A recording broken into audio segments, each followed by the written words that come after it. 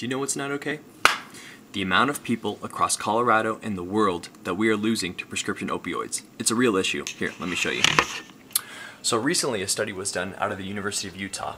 They found that out of all of their patients who had been prescribed opioids for their surgery recovery, 67% of them had a surplus. Not only that, but get this, out of the surplus, 91% of those patients kept their opioids at home.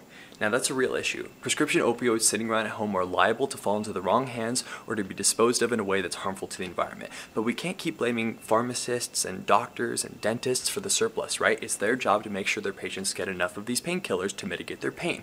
So how do we dispose of these prescription opioids in a way that's safe? Well, we're suggesting drug buybacks. Drug takebacks are already huge, right? The DEA held five of them in the course of two years and they collected over 2 million pounds of prescription opioids, right? But what if we gave people an incentive to bring their opioids back, right? What if we did a drug buyback, right? What if we used government funding through, you know, grants and tax revenue? What if we got in corporate sponsors, right? What if we had insurance companies and hospital units and big pharmaceutical companies to donate to these events? Because you know right now, pharmaceutical companies are wanting to mitigate as much of the damage that they have done to this opioid epidemic as everyone else.